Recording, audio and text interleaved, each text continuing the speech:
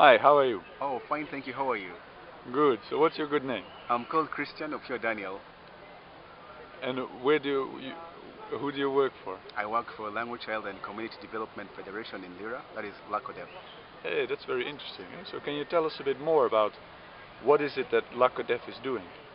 Well, LACCODEF, we are working basically with uh, children and children communities, um, children environments in areas of education, health, and uh, youth are being empowered with skills for livelihood.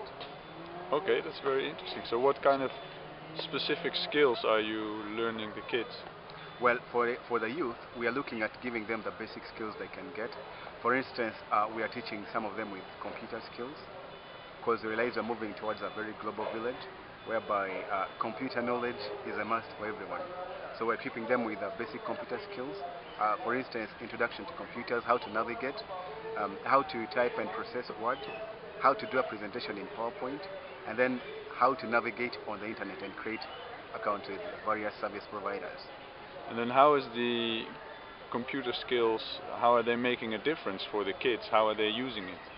Well, the kids are getting more exposed. You realize there's a lot of information on the internet on basically anything.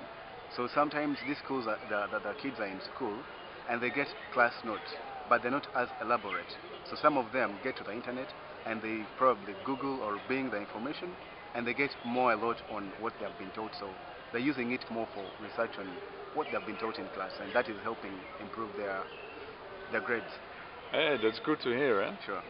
So you're doing good work. Thank you. Is there anything else you want to share with the world before we close? Well, we are also looking at uh, engaging the parents in their children's education. This is being done in about uh, five schools, primary Yeah. schools. And uh, we are partnered with uh, Text to Change Uganda to help create awareness messages.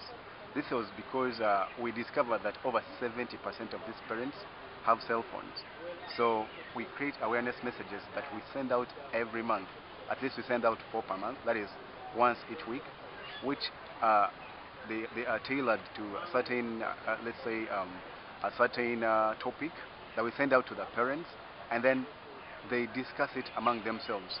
So we are creating awareness on their roles as a parent to make sure that their children get uh, quality education. Okay.